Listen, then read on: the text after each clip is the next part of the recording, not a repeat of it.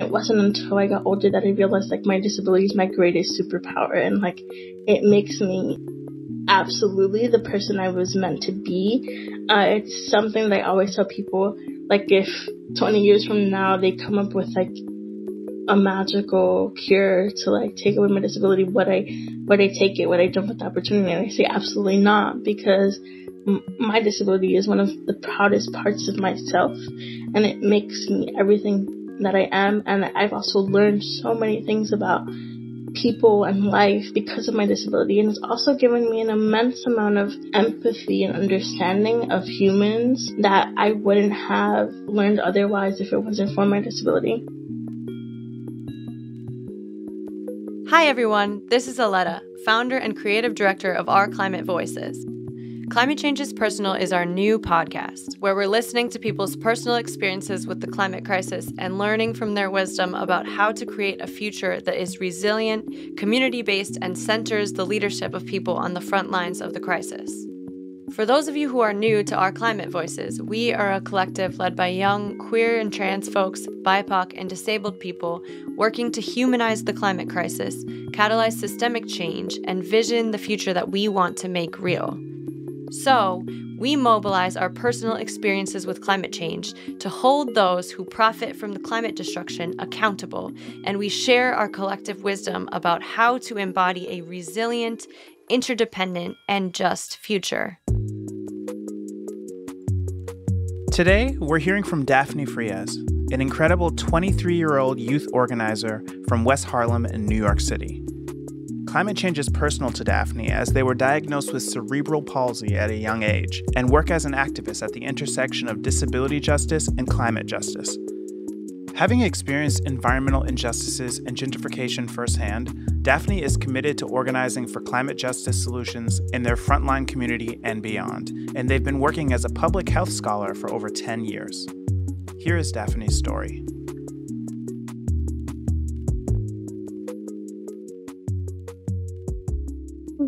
Yeah, uh, so my name is Daphne Frias.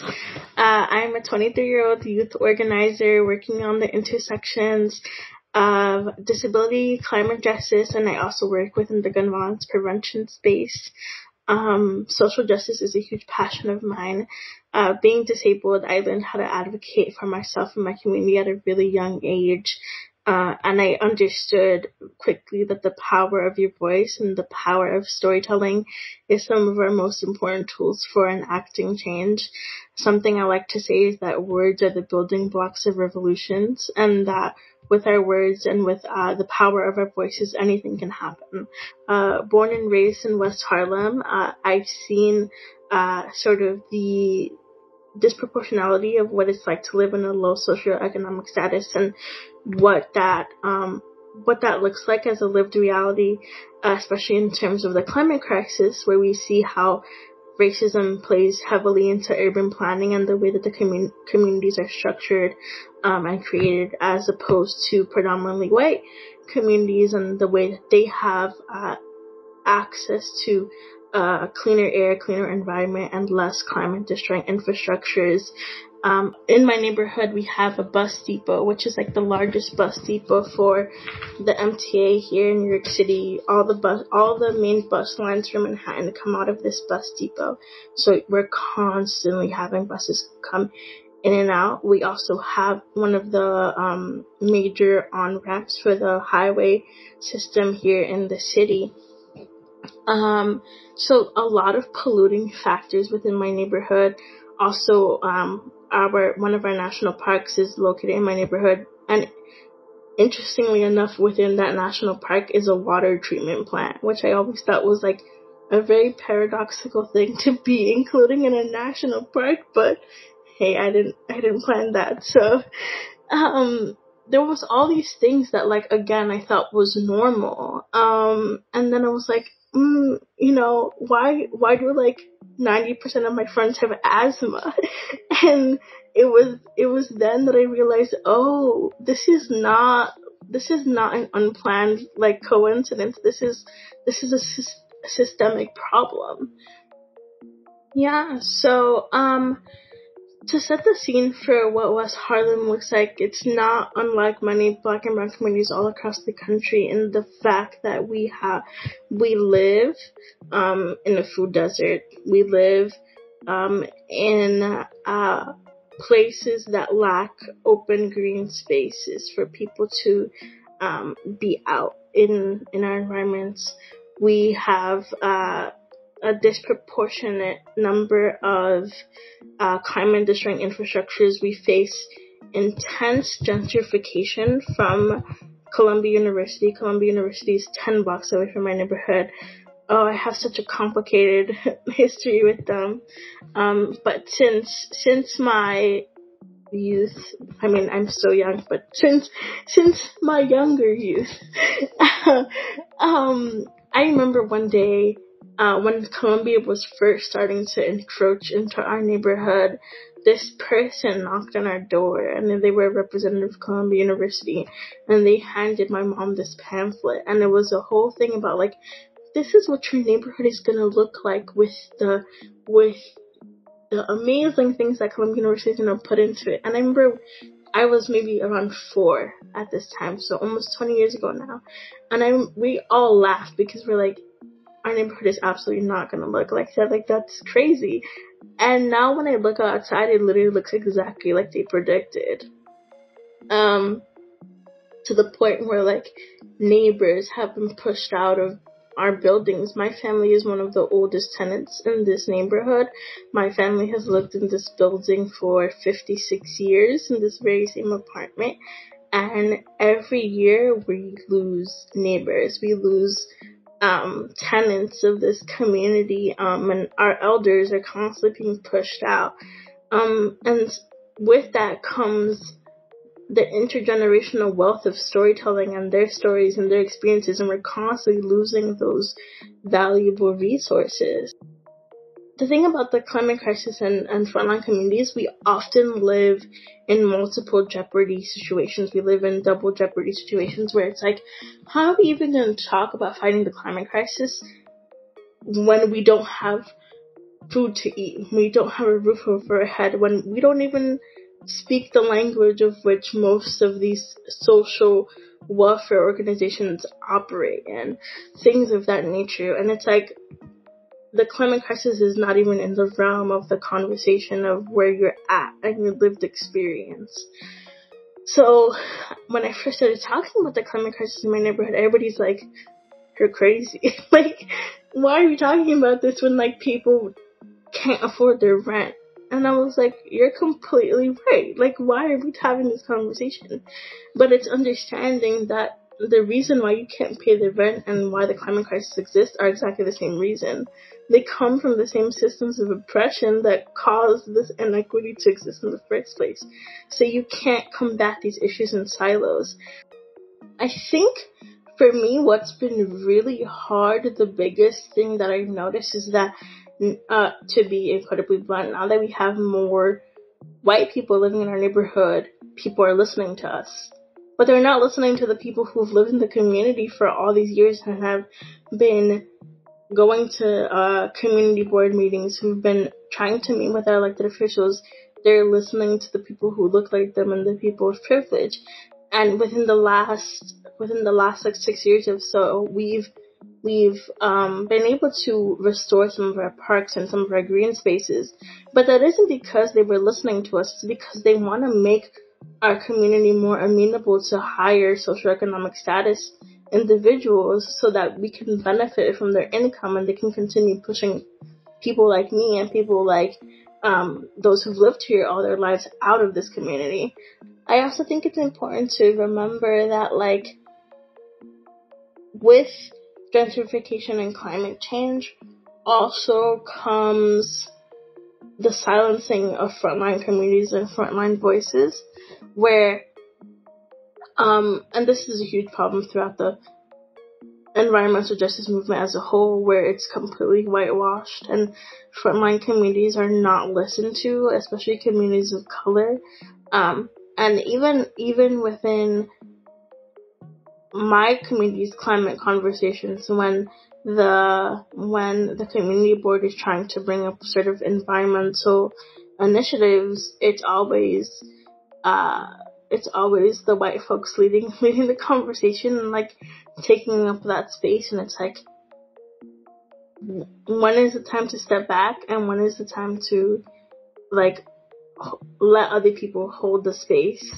Um, it's been an incredibly interesting dynamic in that way. But I I began organizing within my community, um, and I, I've seen an incredible difference over uh, just taking uh, ownership over our community and our voice, um, and saying that like just because we have these labels on us doesn't mean our life doesn't matter. It doesn't mean our stories don't matter. Um, and that taking agency over our well-beings doesn't make us villains. We, we have this, we have, we have a right. Healthcare is a right. Clean, clean environments, safe environments, that's a right. And we don't have to feel sorry about fighting for those things. Disability is hard and obviously there's days where I wake up and I'm like, this sucks. Like I'm, I'm, there are gonna be bad days, but the overall experience of disability is some of the most empowering places I've been because we are a community that knows what it's like to not be seen. So we have, we have the inability to rely on each other um, and to build community, to share resources. To I mean, I cannot tell you how many times I've been, um, you know, stranded without medication, without resources, and reaching out to community, being like, I need this, I need that. Or I'm having a really bad day with, you know, this, this illness. Do you have resources to help me? And my community is always there. Um, and I think if the rest of the world had that approach to community and to understanding that we all work together to make each other better, we'd be in a much better place. Uh, I was born, I was born a little tiny, teeny baby. I was one pound, three ounces. Uh, I was born at 27 weeks, so I fit inside the palm of your hand. Um, uh, just for like size perspectives, my diapers were doctors' face masks. So all the face masks that we're wearing right now, little those blue surgical masks in specific, those were my diapers all cut up and formed to fit my little tiny body. Um, I was only given a 25% chance to live when I was born. I was in the hospital for three months and I had to have two uh, two blood transfusions from my doctor. So needless to say, 23 year old Daphne was not, was not supposed to be out here doing the most. um, so, uh, and when I was three years old, I was diagnosed with cerebral palsy. Um, it is, uh, there's multiple forms, but in its most basic form, uh, it is a, a neuromuscular disease that affects all the muscles in your body. Um, and makes your muscles atrophy. So you have less control over your muscle tension, your muscle, your muscles in general. Um, I was diagnosed, uh, like I said, when I was three years old. But what was interesting about my diagnosis was that that the word high functioning was tossed around a lot. What does high functioning mean? What what is even that word? It's like the most annoying word to me because it it, it um it alienates people's people with disabilities and uh, sort of makes you feel like you're not part of the community in general. Even when I was diagnosed, the center that diagnosed me told my parents that they couldn't help me because um, the the the center they had a they had physical therapy and other um, other resources. They also had a school on campus, but because cognitively I fit into a more general education setting, they're like, yeah, we can't help your daughter. And they left two uh, low socioeconomic status brown parents without any resources whatsoever. so it was my mom using well it wasn't really the internet at that time it was more like library and other resources to figure out how can i get resources for my daughter and how can i help her um you know break through these barriers that she has. Even when I even when I started going to doctors and hospitals, they actually wanted to do this major surgery on me and they wanted to remove all of my lower extremities and replace them with metal. And my mom was like, "Yeah, we're not doing that." um, and shortly after, she um, got me into this specialized preschool with early intervention services like physical therapy and occupational therapy. And by my graduation, I was able to walk across the stage. Um, when I had no ability to walk prior to that, it was actually a surprise for my mom. I had been working with my physical therapist for the whole duration of the school year. Um, and then when I would come home, I would pretend like I couldn't do anything. Like I would pretend like I was like I was before. Um, so that when my mom saw me at graduation, it was like a complete surprise for her, and she was just bawling in the in the audience. It was it was an amazing feeling and a test and I think it was that experience that really shaped me. It was it was the first time that I realized that like I could do anything that I set my mind to, no matter sort of what the expectations were of other people. But I also knew that education and being able to articulate myself um, was a way that I could take ownership over the way I was perceived. Um, being disabled, being a young woman of color, I knew that, especially the public school system in New York, um, they were going to try to box me into special education and other systems that were not beneficial to my growth as a student or as a person. Um, I was actually one of the first young people within the public school system here in New York City to be in a what they call like a hybrid system where I was receiving special education services, but I was in a general education classroom. And from freshman year up until this very last year, I had a history of uh, contracting pneumonia every year. So my respiratory system is incredibly weak, which is why getting COVID was no surprise to me. It was something that I was unfortunately kind of expecting. Um, but that made my my lungs very very weak um, and not not being able to withstand the levels of air pollution within my community um, to the point where I um, developed asthmatic like symptoms um, and became very uh, sort of reactive to the environment around me.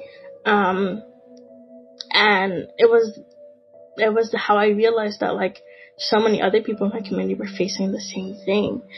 Um, but specifically with disabled people, I think it's understanding that we again live at the nexus of multiple jeopardy situations. Um, and when we talk about the climate crisis, um, one of the things we always think about is the um, the increase of uh, you know natural disasters and inclement weather, and like people with disabilities don't have the the privilege and the ability to evacuate swiftly. And like, there's so many people that I know, uh, to bring into context, uh, last year's, uh, California wildfires. There's so many friends of mine who lost their mobility devices during these wildfires, um, oxygen tanks, wheelchairs, walkers, uh, feeding tubes, um, IVs, you name it. There were there were so many there were so many things that were lost. I also think that we're consistently, excuse me, we're consistently an afterthought in terms of ev- evacuation plans. I also think that like disabled people can also be climate refugees, and that's like some something we're not talking about. Where there's thousands, if not millions, climate refugees happen or people becoming climate refugees each year, but some of those people are disabled or in the process of of transitioning become disabled. Um, so now not only do you not have a place to live, not have a country to call home, but you have these comorbidities that are making it incredibly hard for you to exist. And then in the countries that have allowed you in, you're living in these horrible conditions without access to water or access to healthcare access to food, um, I think there's this huge misconception that like disability is a one-time event and it can only happen on the onset. When in truth, disability is a lifelong thing and it can happen to you at any moment. Uh, we've we've welcomed siblings into the, disabled community because of COVID. We've welcomed people into the community because of protests and because of the unrest that was happening last summer with the Black Lives Matter movement. Um, disability can always come, uh, and I think even when we, when we talk about aging um, and and elderly individuals, there is the natural progression of disability as we get older. Um, so I think it's like removing that that negative connotation and that villainization and being like disability is not inherently bad. Society is the is the construct that teaches us that it is. Um, I also think that accommodations and, and the things that disabled people need also benefit able-bodied people as well. It isn't it isn't just like an end all be all it's for us, only for us. It benefits entire communities. And as our climate changes, we can't do anything about it other than become prisoners to our own homes. Um, and that's incredibly frustrating because we're already facing barriers to access and being able to live equitably and now we have to continue to be isolated within our homes because of the changing climate that we're experiencing. Um, I also think, as I was saying before, the climate crisis and environmental justice desperately needs the innovation, empathy, and solution making tactics that disabled people have come to rely on for our entire lives. I find it very hard to comprehend that the climate crisis and environmental justice has become a political issue. Like, how have we politicized the health of our earth do we have another planet to live on? I don't think so. So why why why are we doing this? Um and the fact that like we have to convince people that like science exists and that like the climate crisis is an actual thing. I, I can't I can't it's too much for me.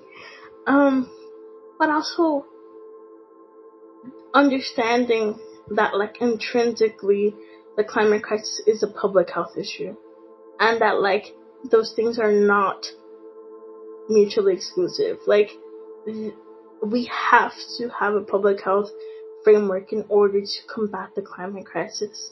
Uh, I am in my first year of getting my MD MPH. I've been a public health scholar for 10 years.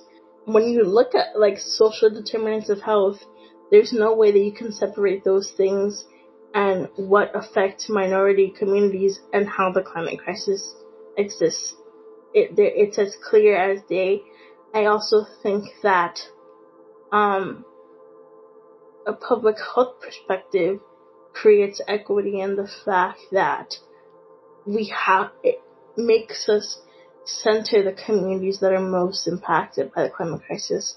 Um, just right before the pandemic happened, I was at this conversation with with um, the Lancet journal, one of the premier medical journals. Um, and it was the first time that the Lancet had published um, data and uh, literature about climate anxiety um, and how physicians um, and healthcare workers need to begin uh, respecting climate anxiety and understanding that climate anxiety is a real thing.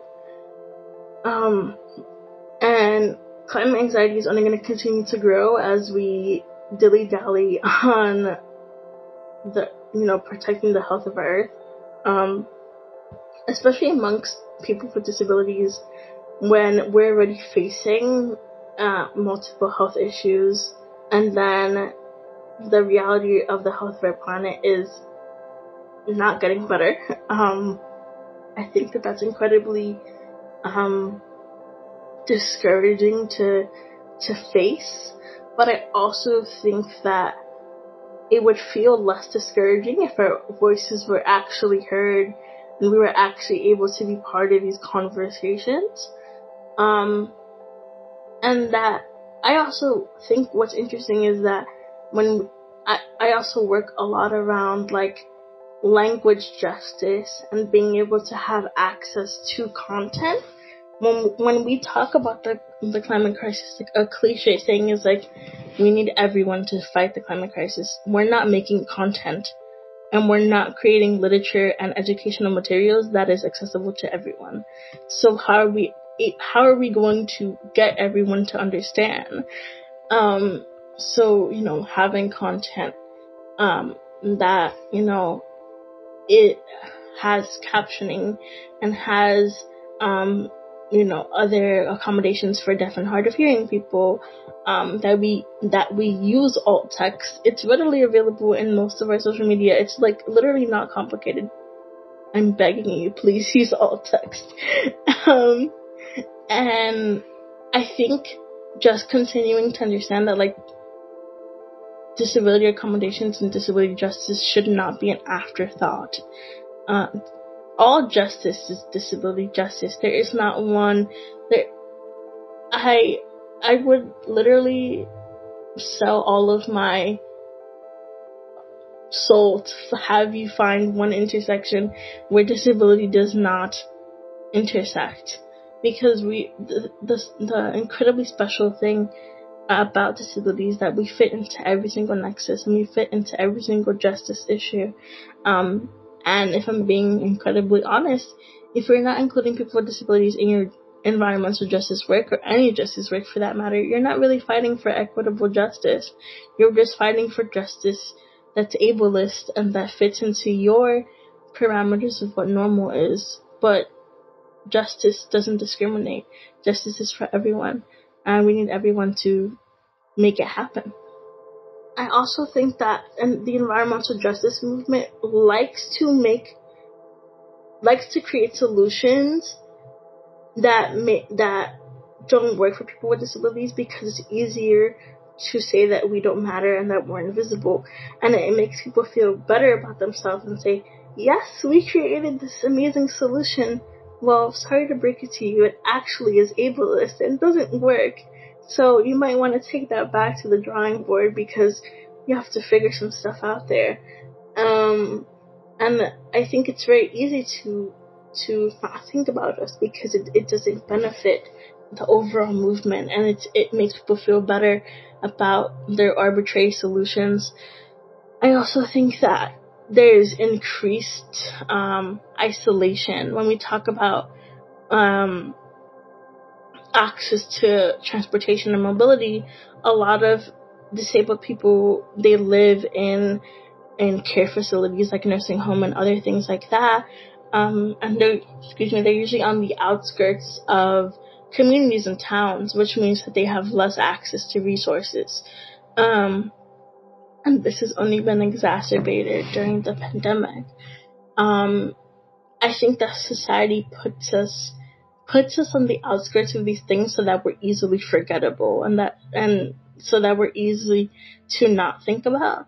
Um, but more than it hurts us, I think it's an incredible disadvantage to the movement in general. Um, I also think that it is like what is ally what does allyship look like for able-bodied people um, helping disabled people enter the climate conversations. I think it's knowing when to step back and being like, why, why isn't this representation happening? Something I always do, like I'm, I am the notorious plus one person. Like whenever, whenever I'm invited to a conversation, oh, can I bring these people? And it's like, it's holding these systems accountable and saying these are the gaps I'm seeing within the representation and with the conversations we have we're having. Here are the people you should be including, even if that means you yourself are not part of the conversation, because so many it, there's a huge pattern in the in the youth environmental justice movement where it's the same voices over and over again, and it's like honestly, I'm tired of hearing your voice. um, and even myself, there's times where I'm like, okay, I'm taking up too much space in this one particular area. Let me step back and highlight other voices who are doing incredible work within this space. And it's the notion of like, when one of us wins, we all win. We're all working together to create a more equitable and just movement. And there doesn't need to be this this rat race of like who gets the most promotion, who gets the most visibility. Because at the end of the day, if you have a dead planet, who cares about how many followers you have on social media? It doesn't matter. um, this is what this is, and like what what does your activism look like if the internet went down tomorrow? Would you have anything to show for your organizing and for your movement work? You probably you probably wouldn't. Um, and that that was a little tea, but but sometimes sometimes you need it. Um, but I, I think for me in general, over this Earth Month, something that I did a lot was hold my hold my friends in the space accountable and say, you're launching these huge campaigns. Are there people with disabilities in these campaigns? No well then you should hold these organizations accountable. And some friends stepped up and some friends didn't. And, and those, it's that in action that speaks volumes more than any other, other, you know, organizing that they may be doing. I also think it's important, I always tell young organizers to also hold those organizations accountable. Um, you know, when I, I'm being contracted for like brand partnerships and stuff, it's like, okay, thank you for including me in this, you know, campaign. But after this campaign's over, like, how are you going to continue to uphold these new ideals that you claim to be promoting? And it's like, long after this campaign is over, I want that positive impact to continue and not just in the in the moment of whatever's popular and trendy. Um, I also think that like it's okay to say no. Like you can you can want to desperately be part of something cool looking and flashing whatever, but like if it doesn't align with your heart and your community, like don't sell yourself out for that. Like there's no point.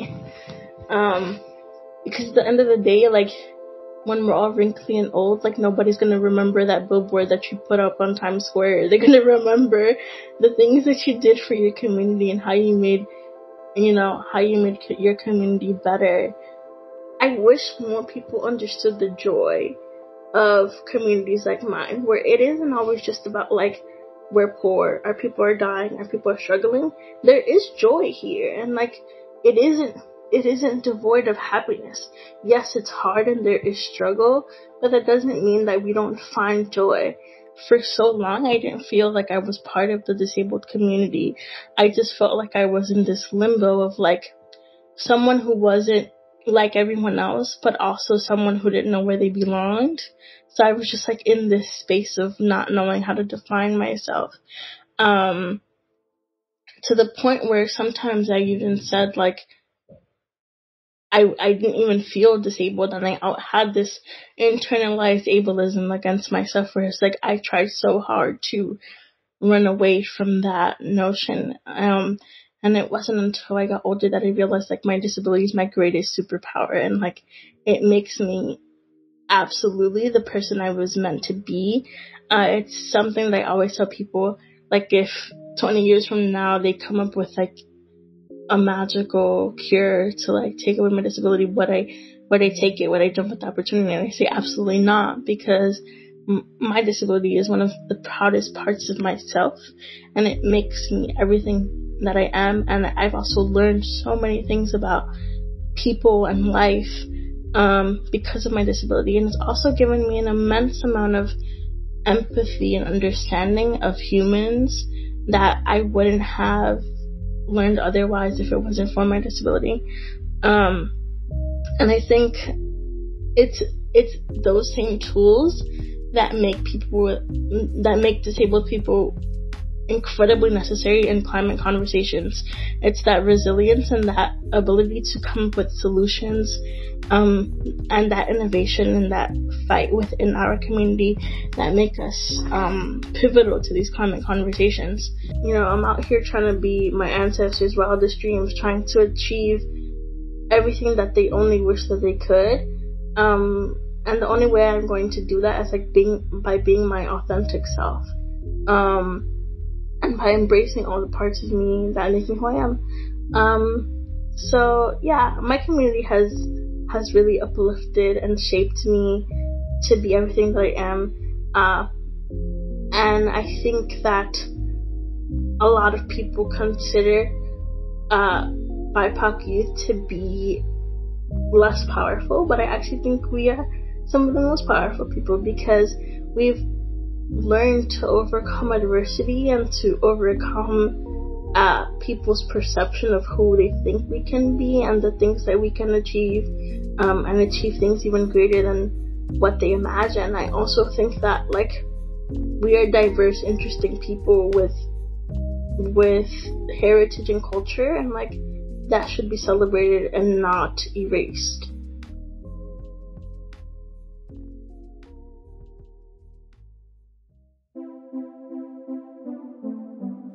Hello again. This is Kari Slaughter, Director of Design at OCV. Thank you all for listening, and thank you, Daphne, for taking the time to share your story with us today.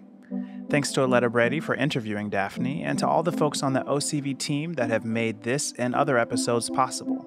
If you'd like to engage further with OCV, you can find us on Instagram at Our Climate Voices or on our website at www.ourclimatevoices.org. Stay tuned for more episodes about the intersection of disability justice and the climate crisis in the coming months. See you then.